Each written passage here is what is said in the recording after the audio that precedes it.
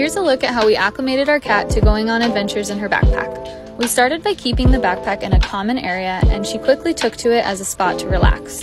Now that she was familiar with it, we started by going on short walks around our neighborhood or to small shops and letting her out for stretch breaks. She caught on quickly and after a progression of time in the backpack, she can now enjoy going on an adventure up to an hour long with added stretch breaks.